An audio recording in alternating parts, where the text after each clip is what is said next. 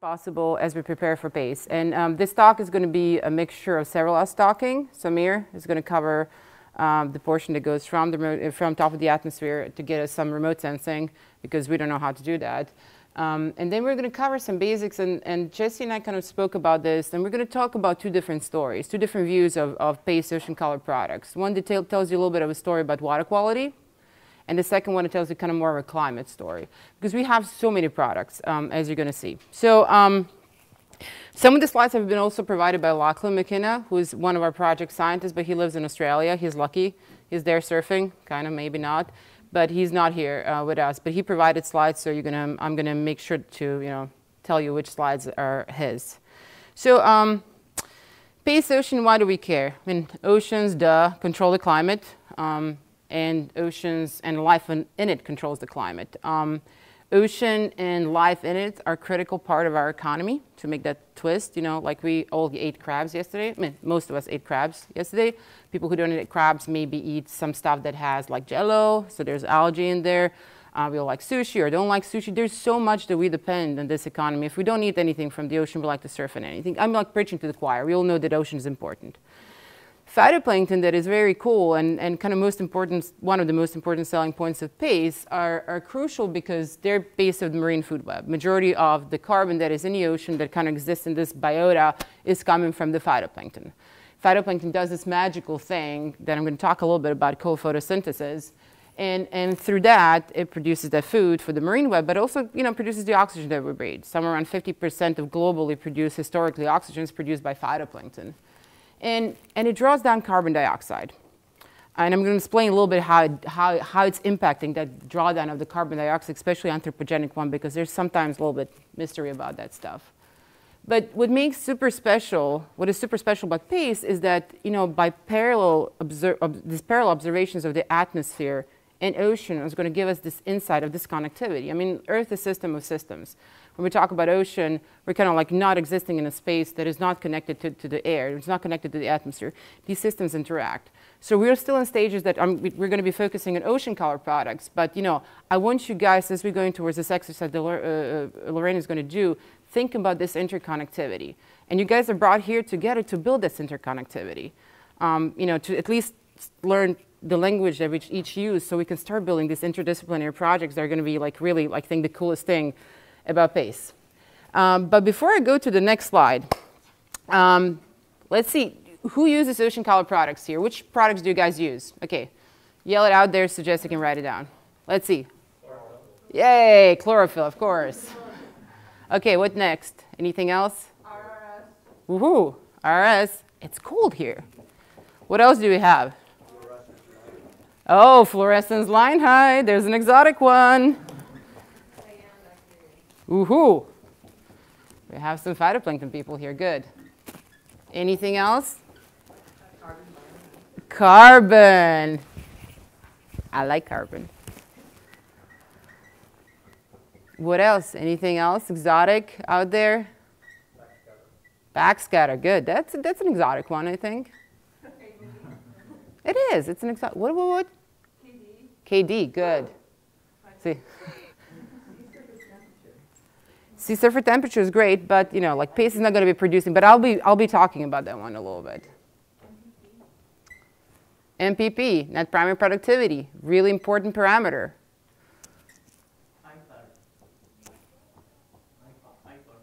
High chlorophyll? IPAR, yes, sorry, I'm like so IPAR is just like a measurement of instantaneous PAR, like just how much light, um, I think we're not going to cover exactly PAR, but it's just the amount of light that reaches the surface and can be propagated through the water column, and it's available for phytoplankton to do their magic. I missed something, probably. Uh, missed something, yeah. Yeah, NPP.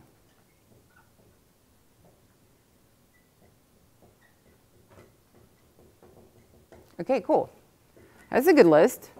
That's a really good list because that's pretty much the list of the things that, that you know, that PACE is going to be making. You guys missed some, and there's going to be many, many more that we're going to be producing, but pretty much that stuff is here. And two different color codings are actually showing you the, the things that we really have to make, which are in blue, and things that we really want to make, which are in, in gray. And we want to make the things that we have to do as well. But I think the cool things are, are you know, kind of hidden in, in between the gray, at least from my perspective, this idea of bringing phytoplankton community structure. Um, it's really important for me, and I think it's going to give us much more better insight in any questions that we have when it comes to the oceanic realm, no? But you can see many, many of them here, and, and quite a lot of them, actually, there's quite a lot of overlap. So, and the blue ones are, some of the blue ones are these like important climate variables, so-called essential climate variables or essential marine variables. There's different, different definitions and stuff. And we're going to keep on producing them just because we want to have this like long data set so we can actually look at the impacts that, that you know, climate change has on, on the systems around us. So we're going to keep on producing this stuff, but we're going to bring some new things along. So if you look at all these things together and actually put them as some kind of crazy diagram like this one that I made, you can see that there's lots of connectivity between them. What it, this actually means that, that, you know, when we start with top of the atmosphere, and thanks to Amir, not me, get us to RRS, things start getting produced, and there are really lots of interconnection. And what is, what is, what is really important for you to think is, as we're going along, can we treat these things as independent variables? Um, I'm talking about this because quite a lot of people, our users, are modelers. You know, and they're going to take some of our products and treat them as an independent variable. But there's nothing independent because our first stop, most of them, first stop is top of the atmosphere, apply atmospheric correction, and we connect them all. And as we're going down the line, as we're going down these, these, these like this hierarchy of, of products, we're not just not losing independence, but we're also accumulating the uncertainty. So those are the things I, I really like to look at the products in this crazy realm, just to understand that everything is interconnected, but also as we're getting more complex, we're, accumulating like poop, we're accumulating trash. And, and one thing that we're doing with, with PACE, and we're going to be talking about that on Friday, we're really trying really, really hard to, to keep good track of those uncertainties. Right. So to get us from the top of the atmosphere to RRS is my dear colleague Amir. He's going to take over. Um, and oh my God, we're so slow. I have I'm going to have to speed up. Uh, good morning. Um, so I'm Amir Ibrahim. Um, I'm the project science lead for atmospheric correction. Uh, and I primarily focus today on uh, developing or looking at uh, PACE uh, OC, um, atmospheric correction for OCI, which is the main instrument on, uh, on the PACE light, uh, the ocean color instrument. Um, so I just wanted to clarify one thing that Ivona was talking about is I'm not the person who's really doing, like there is tons of heritage uh, that we're still relying on to take us from the atmosphere to the remote sensor reflectance. And with the PACE mission, we're uh, primarily um, um, utilizing this heritage, uh, these heritage algorithms and these heritage processes, which are very much proven that would allow us to um, get to an accurate RRS, uh, remote sensor reflectance for the ocean. So I don't know what happened to the slides, but um, basically, um, uh, what I wanted to, you already probably have seen that uh, already in previous talks, but what really causes the uh, variation of the color in the ocean is primarily things happening in the, in the ocean itself uh, due to the absorption and scattering of um, different types of particles, uh, such as uh, organic and non-organic particles, as well as dissolved particles. And as you can see from this figure here on the, on the, on the right-hand side, is there, is there a pointer actually I could use? Oh, thank you. The, um, this, is, this figure here is actually the uh, remote sensor reflectance uh, for different uh, water colors. And as you can see, the shape, uh, the spectral shape and the magnitude of the RRS will change depending on the water color, itself. And this is because, again, of the absorption and scattering properties of the, uh, of the ocean. So what do we actually see from uh, spaceborne uh, sensor? So this is actually an image, uh, true color image from uh, MODIS Aqua. Uh, uh, this is the Rio de, la Plata region uh, in the Atlantic Ocean. And as you can see from this figure, it's very much diverse in color. It goes from extremely turbid water conditions here all the way to open water conditions. And you can see all these swirls are basically phytoplankton blooms. So, but it's not always pretty image like that. There is, of course, the atmosphere that uh, interferes between what, what we, we see from a satellite sensor to the surface reflectance. Uh, this is another image from VIIRS NPP. And uh, as you can see here, this is the uh, west coast of Africa. And you can see these dust and, and uh, uh, carbon uh, plumes over the Atlantic Ocean. And all of these aerosol signatures basically interferes with the, with the ocean that we're, we're trying to retrieve. And it makes the atmospheric correction a very complicated process. So as you already know, that ocean color is a passive remote sensing technique. You still need the solar radiation, uh, or what we, know, what we call also the solar irradiance spectra. Um, this is uh, through year 2002. Um, and, the, um, and basically the, the light from the sun um, scatters uh, in the atmosphere and propagates through the atmosphere, go through the air-water interface, and then uh, scattering, additional scattering processes happen in the ocean. And what we're trying to do is we're trying to, um, and, and this light basically propagate back through the interface again, all the way back to a sensor. So what uh, an instrument like PACE would see basically the light that reach, reach the satellite is the combination of the light from the atmosphere, as well as from the uh, as well as the light reflected from the sea surface itself, like glint and white caps, uh, and it, in addition to that, the water signal, that which is our target. This is what we're actually trying to retrieve. So, and here, here in this figure, uh, this is the top of the atmosphere uh, radiance. Um, and here I'm overlaying the uh, what uh, OC, this is based on simulated data, uh, data, and this is what OCI would see. So it's a hyperspectral instrument. It will observe the light at 239 bands, including the SWIR bands and this is what we would see from MODIS. So obviously there are tons of information that OCI would see, uh, and it captures a lot of these features, spectral features, that an instrument like MODIS or SeaWiFS, multispectral instrument, would not observe. Of course, a lot of these features are coming from the atmosphere itself, so we have to compensate for these features in order to, to do a proper atmospheric correction. And what we're trying to do is we're basically trying to get to the uh, reflectance of the ocean. So here I'm showing some spectra for different types of uh, surfaces, uh, from snow, vegetation, uh, dry soil, and our little tiny signal here is the water itself. So, and I get this quote actually from the PACE website, one scientist noise is another signal. And this is actually true. We're really looking at a very tiny signal from the top of the atmosphere compared to other disciplines where, or, or, or, looking at other surfaces where you're looking at clouds or land and so on. So it's really imperative to do a proper atmospheric correction or, in order to get to that tiny signal from the top of the atmosphere. And what we want to do from that is basically, as Ivona said, we want to produce these global images um, of, um, of different ocean color products, such as, you know, this is phytoplankton or uh, ocean chlorophyll, I'm sorry. Um, this is coming from SeaWiFS, and uh, uh, this is our goal. We want to get global, uh, we want to be able to monitor the global ocean uh, uh, from the satellite observation. So quick definition to what remote sensing is. Uh, remote sensor reflectance, or RS, has a unit steradians. It's basically defined as the upwelling light or radiance just above the surface divided by the downwelling irradiance. And uh, the, the upwelling radiance has units of watts per meter square per micrometer per steradians, and the downwelling irradiance has watts per meter square per micrometer. And this, when you do this division, you end up with per steradians unit. And of course, I also wanted to uh, mention uh, another uh, um, parameter that we use to describe the reflectance of the ocean is the is the water leaving reflectance. Uh, it's a unitless. It's basically the uh, pi multiplied by RS, and pi is, has steradians units, so that's why it's a unitless uh, metric.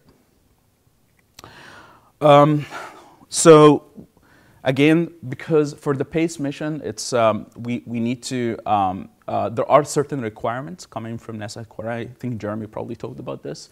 And what we need to do is we want to be able to produce the water leaving reflectance within a certain predetermined uh, accuracy or uncertainty. There is a base, this is our baseline uncertainty here.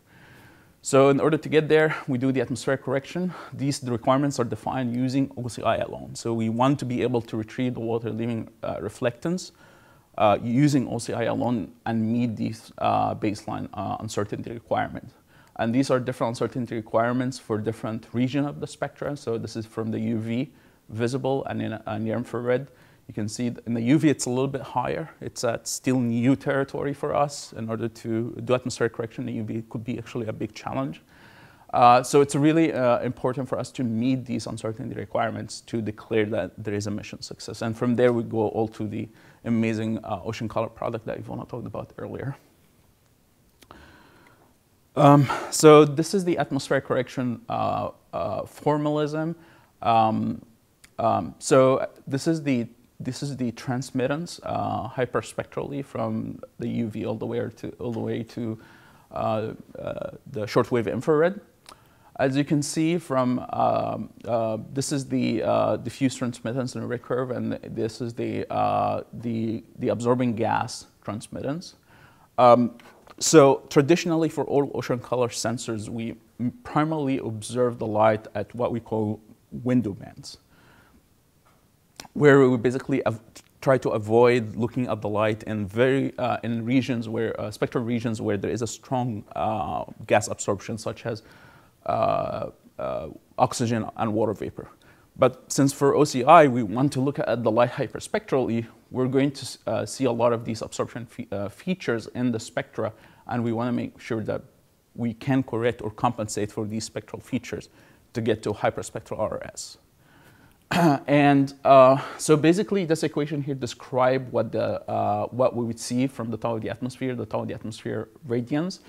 Uh, if we assume the light to be, uh, can be, uh, the different radiometric contribution of the atmosphere-ocean system can be actually summed. So um, using this assumption, we, we can basically sum the molecular Rayleigh scattering term uh, in, plus the aerosol, uh, aerosol uh, radiometric contribution of the atmosphere and the Rayleigh aerosol interaction, as well as the, the, uh, the white caps uh, radiometric contribution of the atmosphere, as well as the glint, and then the, uh, the water leaving radiance also at the top of the atmosphere, and all of that is modulated by the, uh, by the gas uh, transmittance.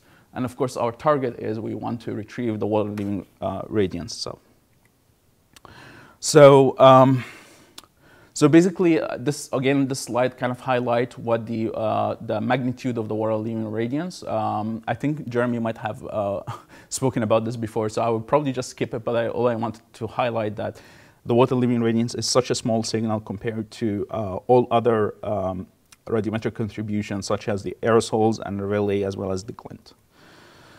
So how do we do atmospheric correction right now? So we have uh, within uh, the um, ocean biology processing group, uh, the ocean ecology lab, we basically have uh, the L2Gen module, which is a, a, it's a processing module. It's a bunch of codes that take basically uh, um, the level one uh, data and process all the way through uh, level two. And all of this is packaged in, uh, under the SeaDAS uh, um, um, software package that basically Ken does all the processing from level zero all the way to level, uh, level three. So L2Gen is only just a submodule of SeaDAS. And what it does is it takes the calibrated toward the atmosphere reflectances hyperspectrally you know, from sensors like HICO or, in, uh, or OCI, and then basically run this through the atmospheric correction code. And what we do is we have uh, sensor-specific lookup tables for the Rayleigh and aerosol radiances or reflectances that are uh, pre-computed using radiative transfer code. Uh, code and then uh, this is also ingested through the L2Gen module as well as ancillary data uh, uh, from external sources such as pressure, humidity, wind speed, and ozone, NO2, and so on. And all of this information go through the L2Gen module to calculate level two, uh, level two product. It's important to say that the atmospheric correction is highly ill-posed problem means that we don't have, it's always we don't have enough information to tell us everything about the atmosphere ocean system. So we always have to supplement the algorithm with ancillary or external data sources. Basically, the algorithms are uh, the, uh, the, the measurements are not, uh, um, does not have the ability to discern all of these additional information because it's highly ill-posed basically. If changing, changing ancillary data can be uh, intermixed with changing things in the ocean or in the other things related to the aerosol. So it's really hard to discern. So you need to constrain the problem. And then basically we go through, uh, once we get the level two product, we, uh, we also uh, apply a vicarious calibration process that Jeremy is going to talk about, and of course go through the validation process and so on, which we'll talk about on Friday. So Rayleigh scattering, um, Rayleigh scattering uh, is the biggest uh, uh, radiometric contribution out of the atmosphere. And and it's really important to accurately calculate the Rayleigh scattering in order to remove that big contribution to, to do proper atmospheric correction. So the way we do this is we use uh, vector radiative transfer codes, where we basically generate a uh, lookup table of a permutated set of uh, geometry, solar angle, sensor angle, relative azimuth, and wind speed uh, as well as we do adjustment uh, uh, using the surface pressure information uh, to the Rayleigh scattering because basically Rayleigh very much depends on uh, the, uh, the, Rayleigh optical thickness that is a strong function of the surface pressure. Um, this is actually schematic figure here shows that um, um, the, the Rayleigh scattering, um, the light distribution of the Rayleigh scattering um, and uh, this figure here shows the spectral dependence of the, uh, of the uh, Rayleigh uh, uh, reflectance basically as function of wavelengths. And it uh, primarily has this power law dependency with wavelengths where basically the radiometric contribution of the Rayleigh is significantly higher in the blue and the UV wavelengths than in the red wavelengths. So that's why it's really important to get an accurate Rayleigh Rayleigh scattering uh, at that uh, part of the spectrum. Um, the next thing um, I want to talk about is, as we said before, we still have to do a proper gas correction in order to uh, get the hyperspectral RRS, which we would use then to develop uh, other ocean color products. So uh, the way we do the gas absorption is we basically generate uh, gas absorption cross sections uh, for all gas species in the atmosphere uh, using a line by line reduced transfer, um, line by line um, um, absorption database from HITRAN, and then we generate the, the sensor specific table after applying the spectral response function of the instrument, and basically we get ancillary information from ancillary sources. We get information about the gas concentration in the atmosphere to do the atmospheric correction. Uh, the the only caveat to that is for um, water vapor actually is an issue uh, for the, for these kind of measurements. Uh, that's primarily because uh, water vapor is um, uh, vary uh, spatially and temporally. So um, on, on, on small scale, so it's really, it would be a lot better to infer the uh, water vapor uh, concentration from the OCI uh, from OCI measurements, which OCI will have the capability to do that. So what we do is we use this um, this uh, ATREM, uh, the ATREM heritage, uh, which is um, algorithm developed by Bo-Cai Gao back, I believe, in the 80s. Um, it's mainly developed for um, MODIS, but we're reutilizing that for hyperspectral measurements. Uh, so it's basically, uh, this is the uh, reflectance spectra.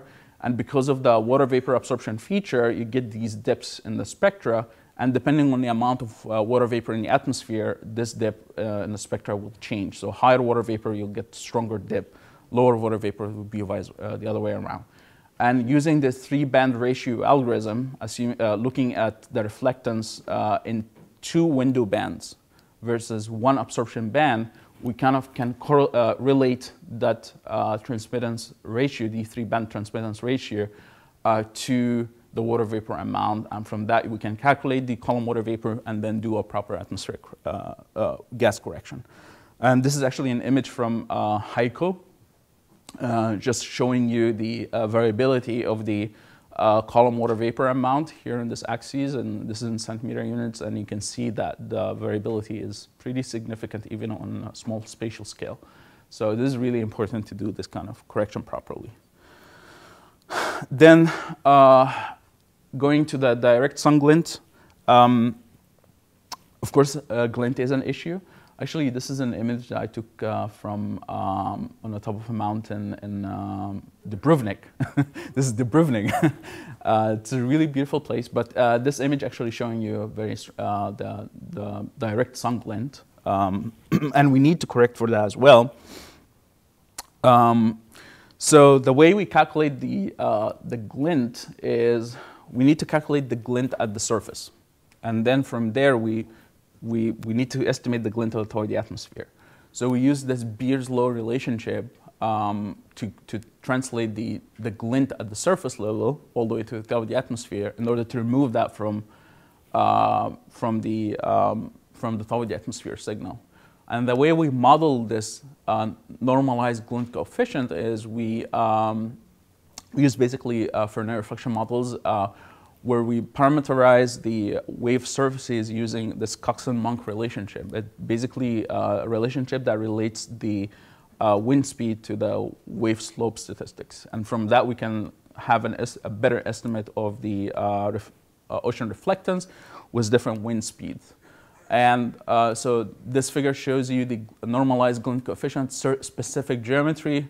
And one thing important to note is that we have a threshold in our algorithms that we basically say that when the glint threshold above 0.005, that means there is a strong glint there, and therefore don't even attempt to retrieve the, uh, the, the ocean from there uh, because the glint signal will be significantly higher. That will be very challenging to, uh, to do a proper atmospheric correction. Of course, we want to um, improve upon that, but um, the one interesting thing is that um, OCI actually, oh, I just wanted to show that this image here, basically shows you, uh, this is an image from, I believe, OLCI, where um, we're showing the glint uh, before and after the glint correction. So, uh, so once you remove the glint signal, you, get, you, you basically have the ability to better get ocean color from it.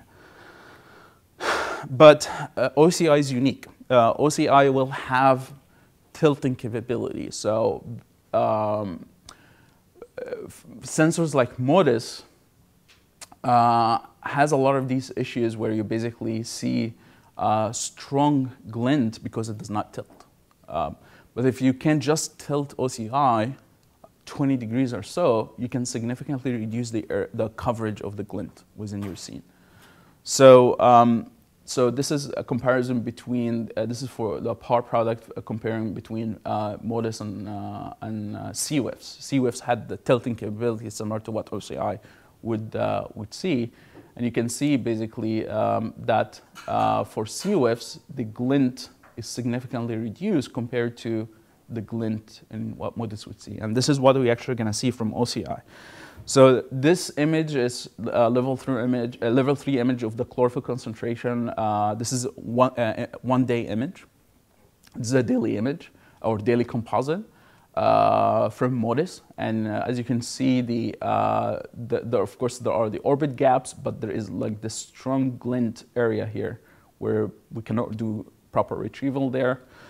But for OCI, we will tilt and we will be able to reduce the glint region significantly. So this is actually um, a simulated data uh, from, uh, what, from, a, a process, uh, from um, a simulator called PyToast.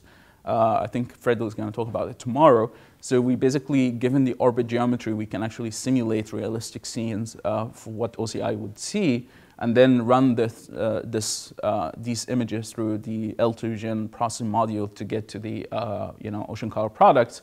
So you can see the significant reduction in the glint region. Uh, this is actually uh, in these glint region here, and this is just the, the, or, the tilt gap. So this is, a, yeah. So you get rid of your glint, you introduce a systematic tilt gap, which kills my aerosol.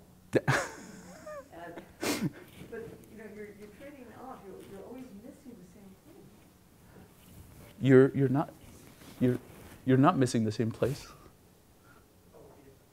You're you're not you're you're not missing the same place. Yeah.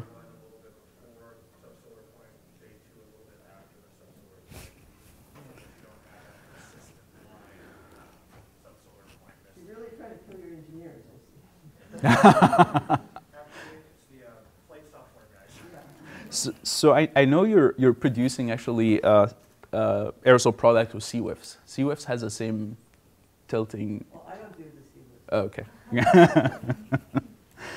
think uh, it's ocean color signal is missing from the green, but you can still do the aerosol retrieval from this gap, right? If you can. I do it from the tilt gap. I, I don't think there will be data available until again. Yeah. No, the, the, I'll tell you. Kills my, kills it. Go ahead, sorry.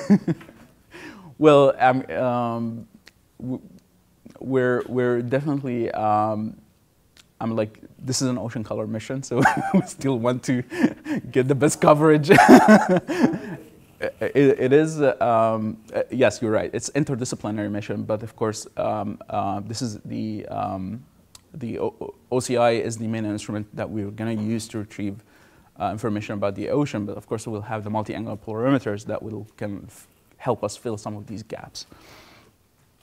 Um, then um, white caps. How am I doing on time, by the way? Right, here's the timer. Um, okay.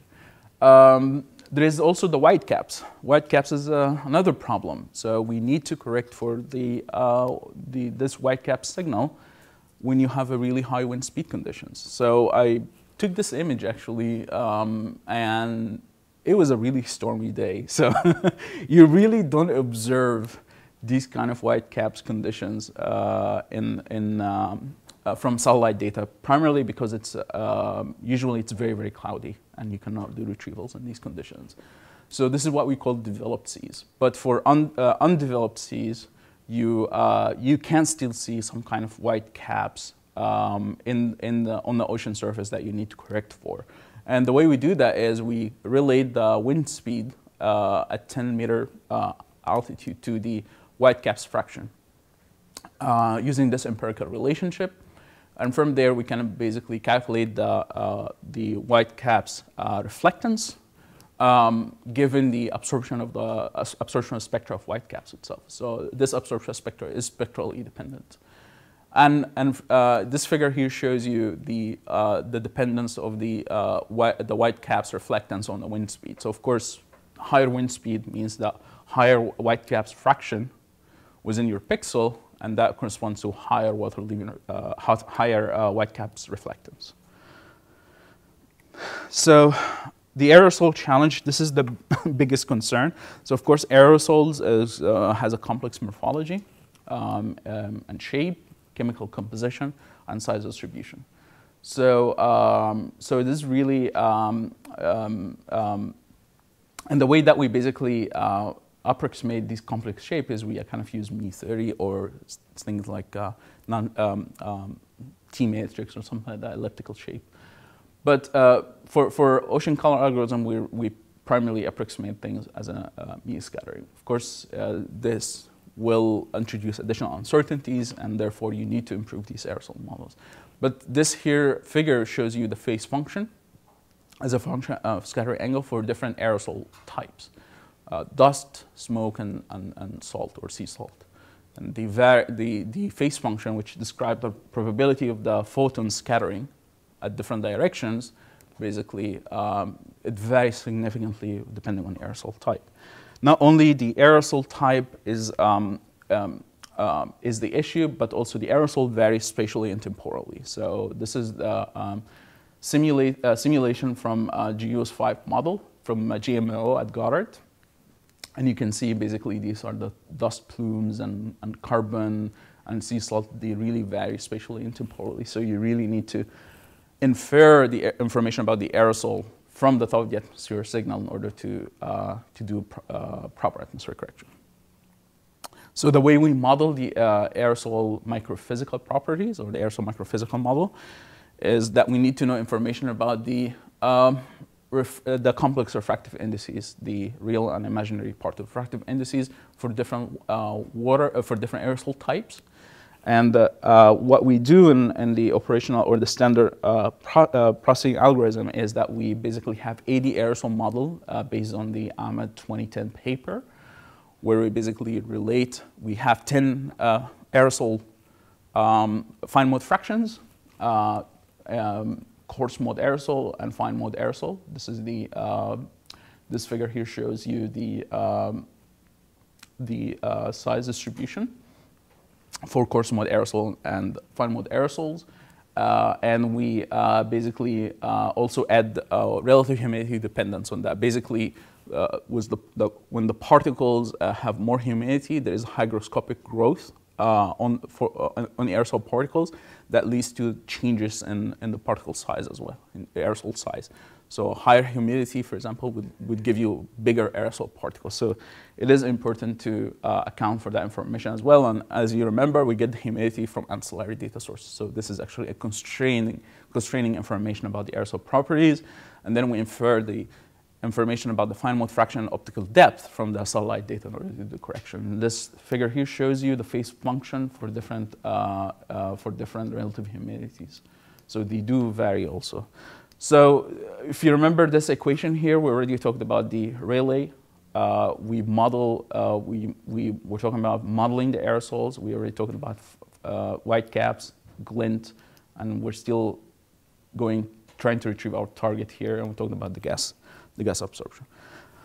So similar to the Rayleigh, Rayleigh scattering correction, we also create uh, lookup tables. So these lookup tables um, uh, of the aerosol uh, radiances or reflectances uh, are computed using vector radiated transfer code. Uh, and the input to these codes are basically the uh, aerosol microphysical properties and uh, you know the parameterized here as relative humidity, fine mode fraction, different optical depth. this is calculated hyperspectrally for all wavelengths and different solar for different solar geometry. So we basically calculate this permutated set uh, of, um, of, diff of um, uh, different properties of the atmosphere and different geometries. Uh, and we put that in a lookup table, and then we basically perform um, uh, multi-dimensional linear interpolation of these lookup tables to get to the, uh, for each pixel in order to infer the information about the aerosol properties.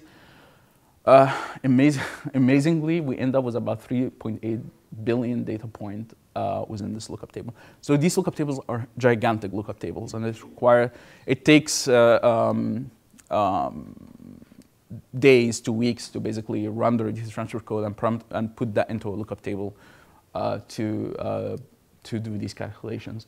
This figure here shows you the uh, the aerosol reflectance as a function of wavelengths uh, hyperspectrally for different fine mode fractions. So basically, the the fine for the fine mode fractions you get uh, different spectral dependence. And this is the point of the atmospheric correction is that we want to infer information about the spectral dependence of the aerosol signal from the top of the atmosphere in order to do the atmospheric correction.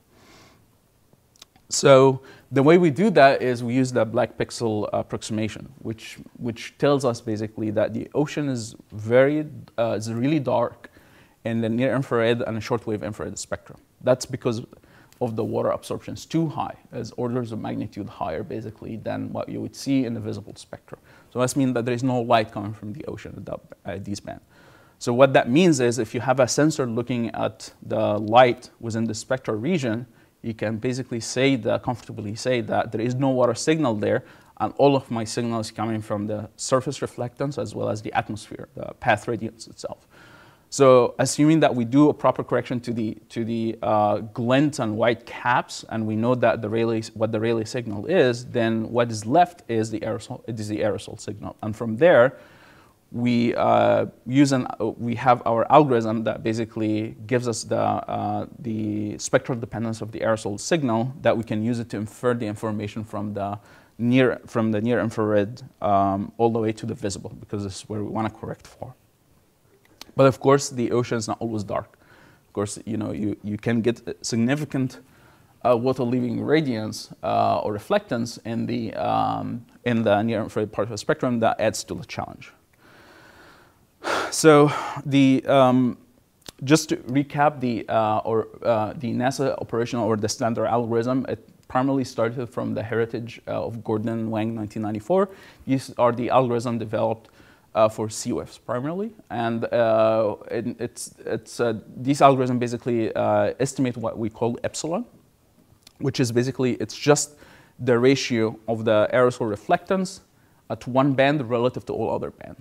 So if you know, uh, if you have, if, if, you normalize everything at one near infrared band and you have some kind of information uh, from other bands, then you can kind of infer the spectral dependence of the aerosol signal uh, using at least two bands. Uh, and in the Gordon Wang, they had uh, these approaches called the single scattering to multiple scattering calculation, but this is too much detail probably uh, for this. So, um, but basically because of some kind of computi uh, computational limit uh, back in the 80s and um, in the SeaWiFS era, uh, they did these simulations in a single scattering space and then basically translate that information using some kind of uh, polynomial fits to translate the information to multiple scattering, which is what is really happening in the atmosphere. The light multiply scatters, it's not only singly scattered. We, we changed that in uh, starting in 2010 in the operational algorithm uh, for NASA. We uh, developed the Ahmad 2010 aerosol models, which were different from the Shettle and Fenn aerosol model for Gordon Wang. Uh, so we had more comprehensive aerosol uh, models based on AeroNet measurements which is the, um, the, um, um, the robotic network that basically measure information about the aerosol properties uh, in situ. And, uh, and then we develop what we call the multi-scattering epsilon, which basically um, infer the information uh, about the aerosol in the multiple scattering space. So there is no need to do this kind of conversion. And there were several reasons we wanted to do that. You know, one of them is we wanted to basically calculate pixel level uncertainty. It was really challenging to do this uh, with this kind of algorithm, but when we moved to the multiple scattering space, it was the method was a lot simplified and, and the accuracy of the algorithm improved also a lot.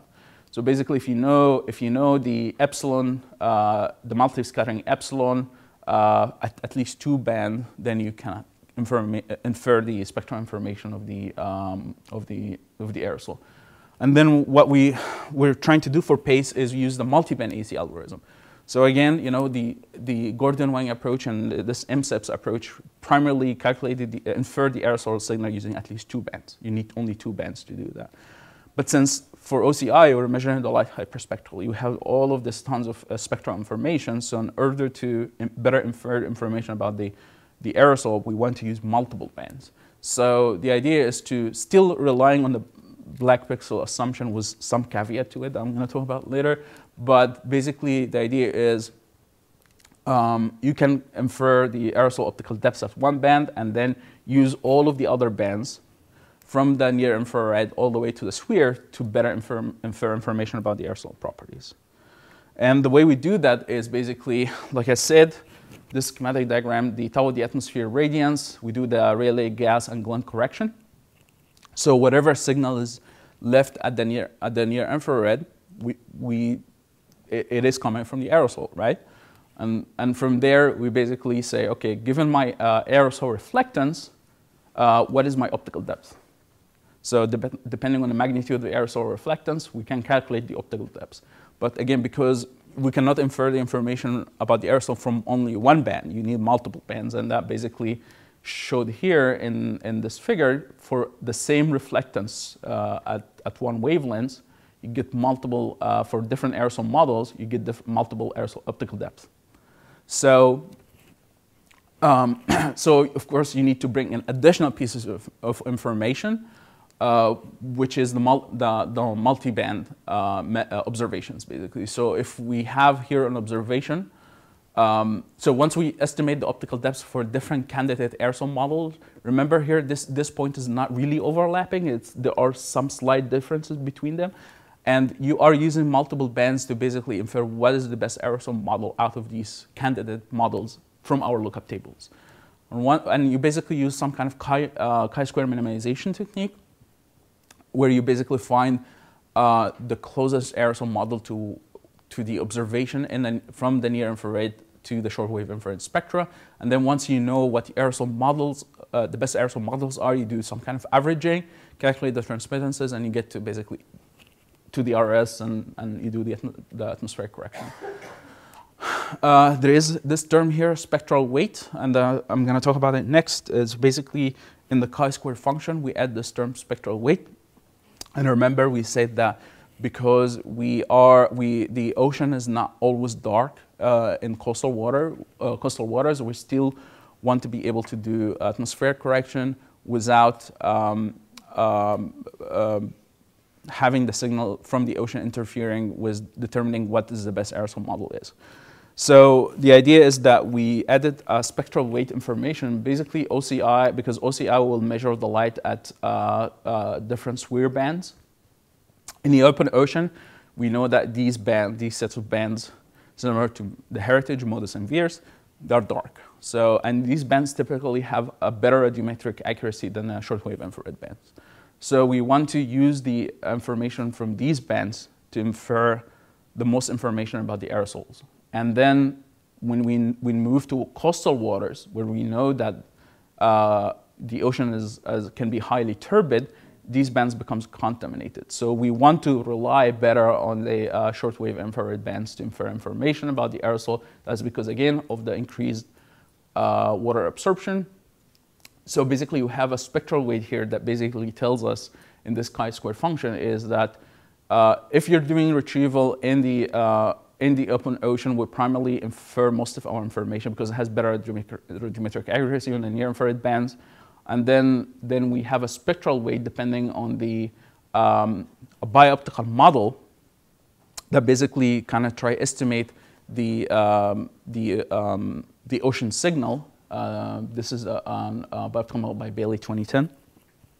Uh, to be, it basically try to estimate the ocean reflectance. Um, so it's kind of like an iterative process where you first do the retrieval of RS and then you estimate what the turbidity is of the ocean, then estimate the near infrared signal uh, of the ocean, and then feed it back again to the algorithm to re remove that contamination or contribution.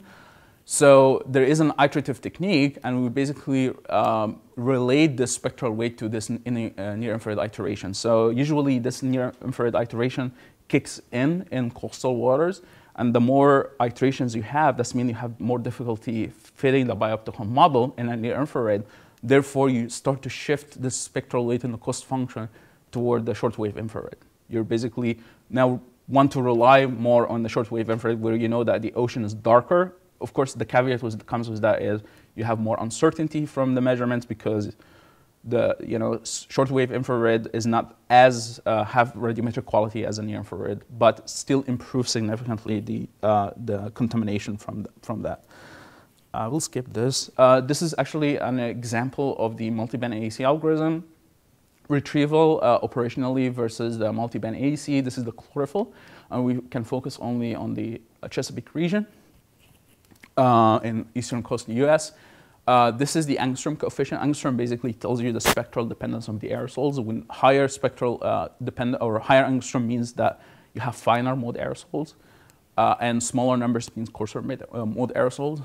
Um, and basically, what you notice is that in the standard algorithm, using only the two bands and near infrared, you get these aerosol signal in the Chesapeake Bay that's probably coming because of the contamination of the high turbidity in, in the ocean. And when we do the multiband AC, we basically reduce a lot of these contaminations because you start to rely more in the longer wavelengths, the short wave infrared. So you're inferring better information about the aerosols from there. You're basically reducing the, the, uh, the errors in aerosol reflectance. And also, one of the reasons we get a lot of these negative uh, RRS is because in some of these water conditions, we tend to uh, overestimate the angstrom coefficient, which leads to an overcorrection of the aerosol signal in the visible spectra. And that gives you basically these uh, negative RRS. Uh, whereas in, if you use the SWIR bands, you basically try to, you mitigate this issue and you tend to have a lot less negative RRS. Uh, the last thing in the atmospheric correction, it's very important not to forget about is the BRDF. Of course, because as I said uh, before, the definition of RRS is probably I forgot actually to talk about this. The definition of RRS is looking at the upwelling light um, at, uh, when a sensor looking at nadir and when the sun is at zenith, right? So uh, we never, we rarely observe these conditions from satellite data. So we always observe at oblique angles and the sun angles changing over the scenes and so on. So you need to standardize this RS. And the way to do that is you basically apply uh, a BRDF correction which basically calculates the um, um, uh, corrects for the uh, RRS from looking at geometry other than the nadir and zenith. And, uh, and, and this is here an example that shows you, you know, that um, the, the reflectance of the ocean uh, for uh, that the standardized uh, reflectance versus what what is observed at uh, certain other geometries. And of course, this process is dependent on the IOPs in the ocean. So we kind of right now we simplify things with only uh, it's chlorophyll dependent. So there is like an iterative process going on in there too. So you first estimate chlorophyll from before doing BRDF, and then and then you you feed this chlorophyll into some kind of lookup tables that calculate this BRDF correction in this equation here, and then um, um, and then you basically apply, apply this uh, BRDF correction. So I'm almost done here. So this is the uh, demonstration of the um, hyperspectral RRS retrieved from HICO. Um, we don't have a lot of uh, hyperspectral uh, measurements as a proxy to OCI, real measurements. So we have very few uh, measurements that can allow us to test these algorithms hyperspectrally. One of them is HICO. You can actually download the data from the uh, Ocean Color website. And this example here, this is Lake Erie. And uh, this is actually an example of like, why do we care about, for example, doing proper gas correction? So the green curve is the in situ measurements. Uh, here is the RRS in red. This is without doing any water vapor or oxygen correction. So you can see basically, first thing you see is like there are all of these dips here in the spectra that is really not coming from the ocean. It's from the atmosphere. So if you don't do this kind of correction and you're applying, you know, whatever IOP's algorithm uh, on it, you basically would think these absorption features, these wrong features, are maybe coming from phytoplankton, which is not true, right? So, uh, so you really need to do to do proper uh, gas correction, and uh, so the the blue and the black curve is basically the the RS after doing a proper um, gas correction, uh, water vapor and oxygen. You see a lot of these features basically disappear. And the other issue is also is because, because if you don't do good uh, water vapor and oxygen correction, there are some out-of-band artifacts that impact the determination of the aerosol signal as well. So if, you have, if you're using bands that are close to the water vapor or oxygen, it kind of like bias your uh, aerosol signal, um, and you can end up with really wrong aerosol type that to do correction. But with, if you do it properly, you can basically get a lot better spectra here.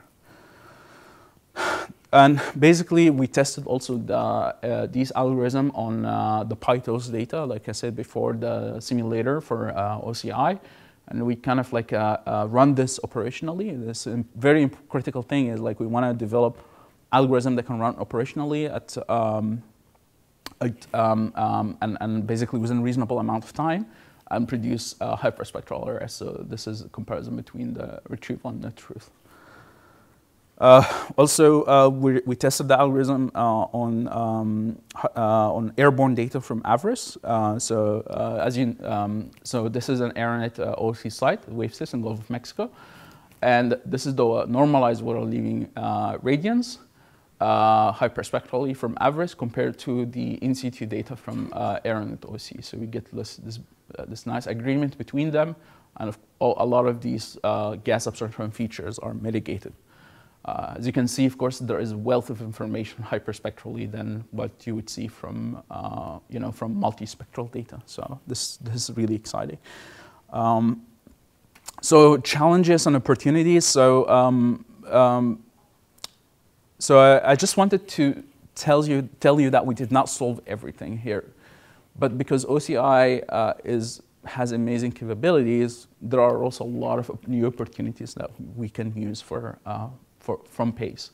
So challenges in the atmospheric correction, and these are long-standing issues and we're hoping to solve, is uh, there are, of course, the strongly absorbing and non-spherical aerosols. That's a problem. I did not, um, in the aerosol models that we talked about before, we uh, assumed weakly and non-absorbing aerosols only. But if you have very strongly absorbing aerosol, like carbonaceous aerosol and so on. That also adds to uncertainty in atmospheric correction. So we really need to have uh, better information about that. And when you have absorbing aerosols, of course, the aerosol vertical profile has an impact.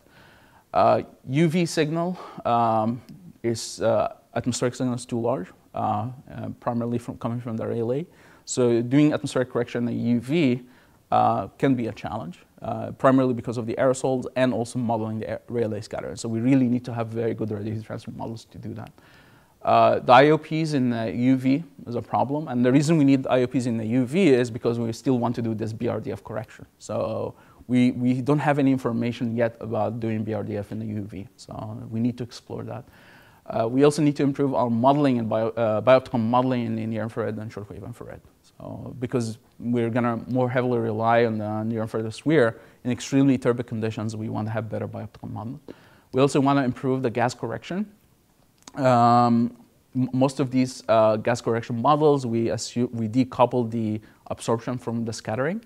But when you have, in reality, there is coupling between absorption and scattering, right?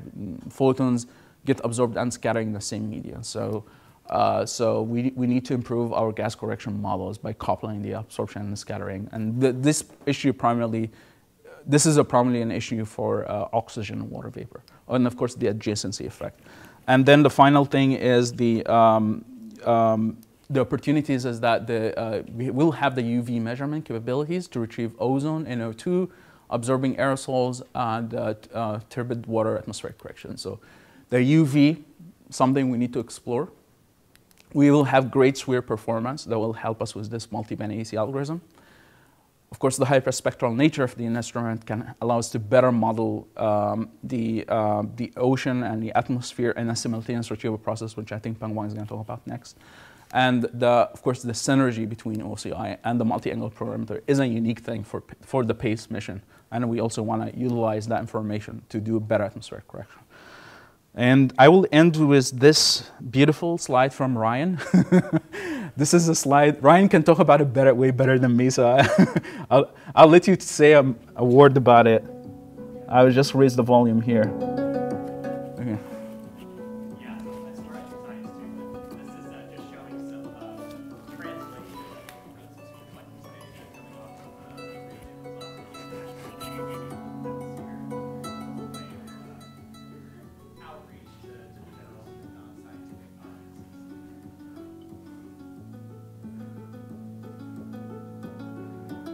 I, I, I'm not sure. I'm not sure if we're gonna produce uh, MP4 or MP3 products from OCI too.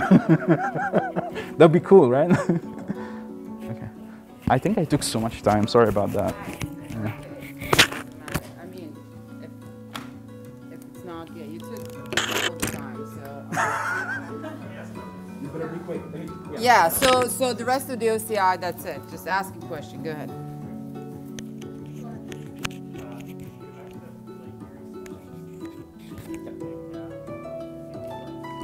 Hold still.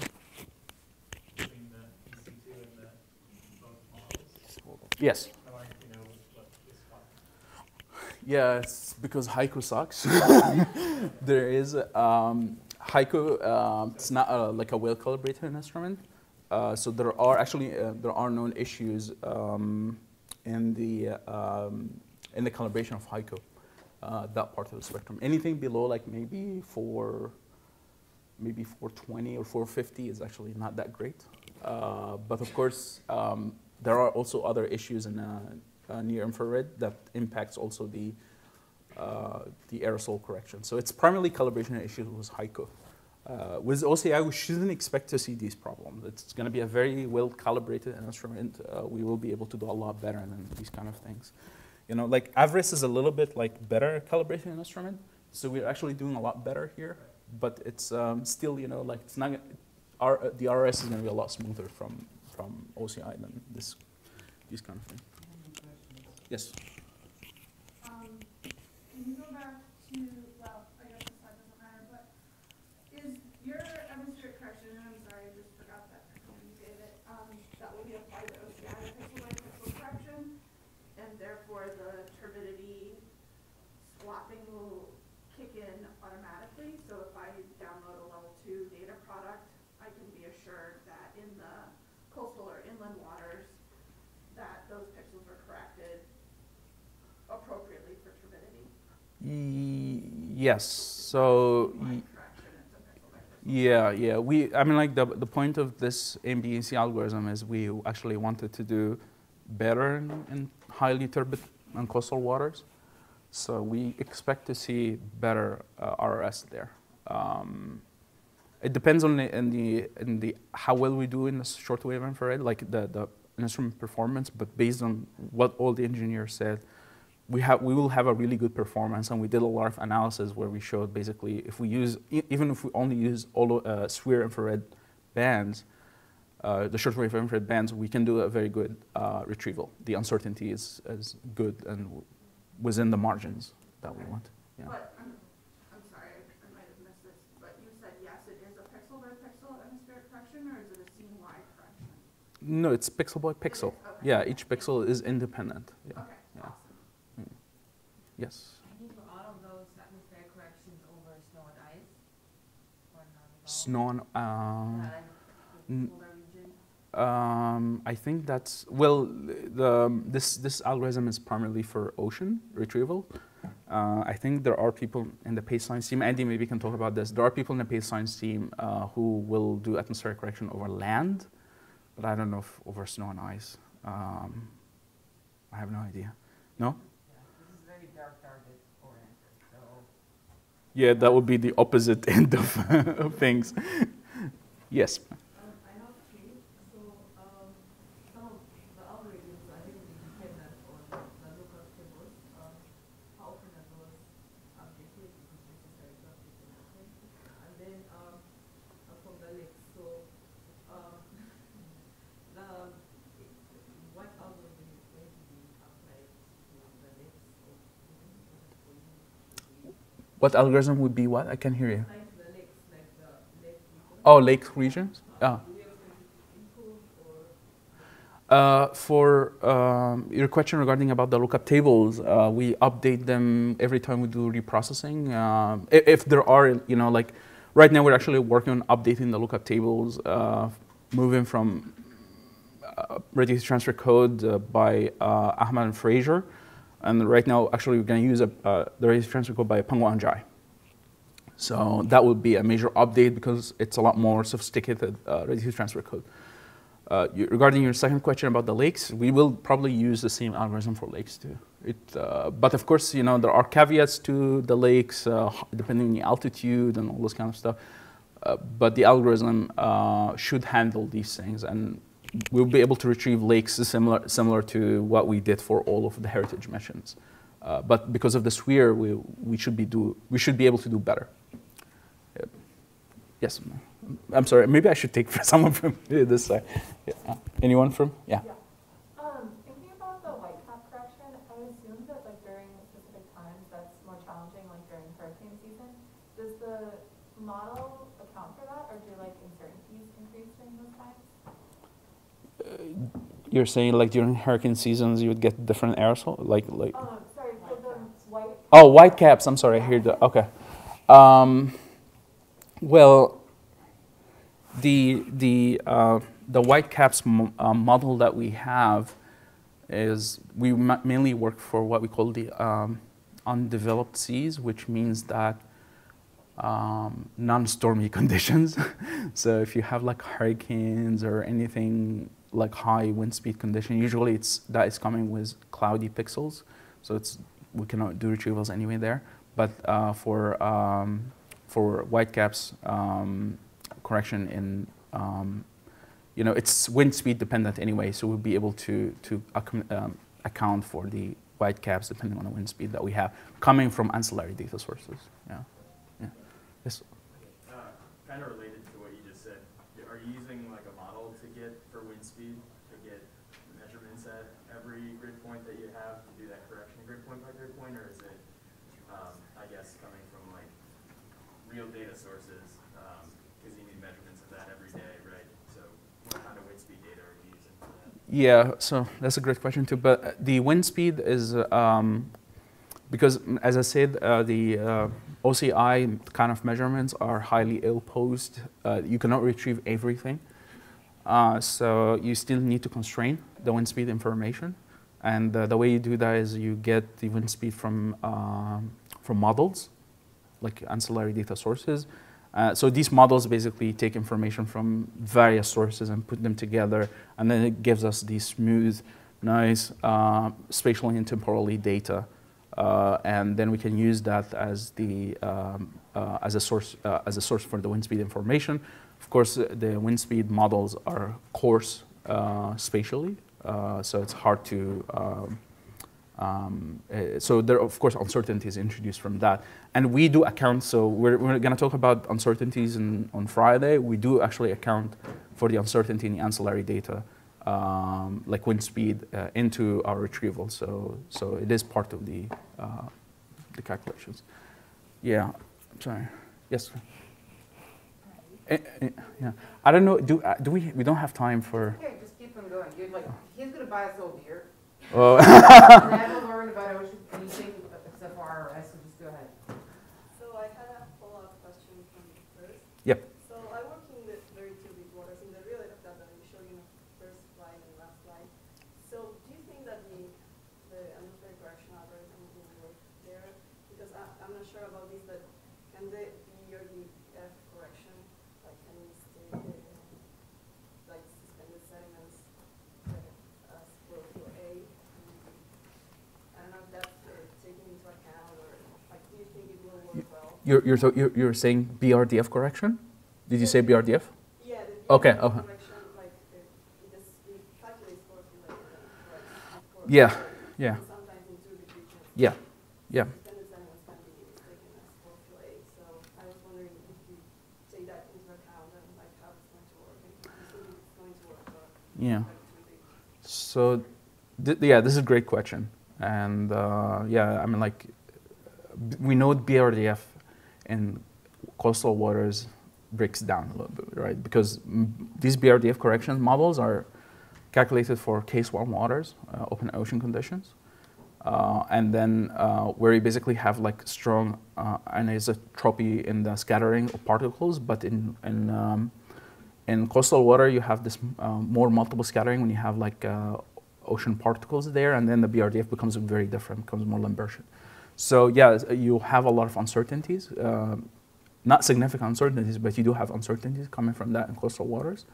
Uh, but we, we're actually working with Pangwang, for example, on developing uh, new and improved BRDF that can consider uh, any kind of water conditions uh, and will likely be implemented also for, for PACE. So this is an open research area, and some of the people in the PACE science team are working on that. In fact, some people are working on retrieving a BRDF from the multi-angular polarimeter. Because of the multi-angular aspect, you can actually get uh, improved BRDF. Yes. Yes, you're, you're- you're in the back, yeah. Um, We're interested in looking at the synergy between like atmosphere and ocean and like maybe wanted to look at like what steps for air sea gas exchange or um, all of these other interesting components that interact with the atmosphere.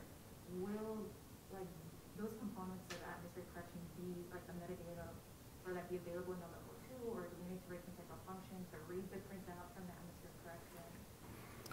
Um, like, like what kind of aerosol products would you be interested in? I'd be just really interested in comparing like what the like lookup table decided was the best aerosol model and then comparing it with like, Yeah. Okay. So there there are uh, for the level two data for for in general for all of the ocean color products, there are like standardized uh, products like RRS, uh, aerosol optical depth, uh, the angstrom coefficient.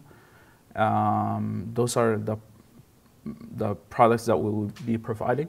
But because we also have the SeaDAS uh, package, you'll be able to actually take the OCI data and process yourself to get whatever intermediate information that you need from the atmospheric correction. So you will have that information, but you would have to process yourself or request from OBPG to process it for you or something like that. Yeah.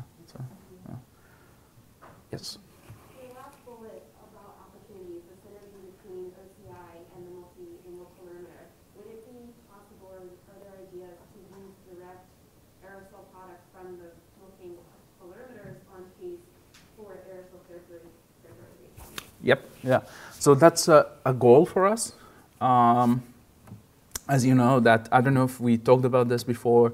Uh, Jeremy talked about this or others. Uh, there will be a level 1C product uh, for PACE, where, which basically um, it, it's, um, uh, it's, it's the level one data uh, com- uh, from combined from different instruments from OCI and multi-angle polarimeter combined on, a, uh, on the same grid. So basically, you'll be able to, from the same pixel, you'll be able to uh, get information, hyperspectral information from OCI as well as a multi-angle polarimeter. And then you can use that information to, to constrain the aerosol properties. Uh, there has been multiple algorithms, including some of the algorithms that Peng Wang uh, is developing, um, which is basically the, the FastMAPOL, the MAPOL algorithm Peng Wang is going to talk about next. Uh, that uh, this multi-angle polarimeter is really capable in retrieving the aerosol properties better than any other instrument, and we we want to use that information to constrain the atmospheric correction for OCI. So we're working on these algorithms. In fact, I uh, I actually just published uh, a paper uh, where we're basically using Bayesian framework, where we use the uh, what we want to do is use the the prior use prior information from the multi-angle polarimeter, use it um, as a constraint to the atmospheric correction for OCI. So this is something actively working on.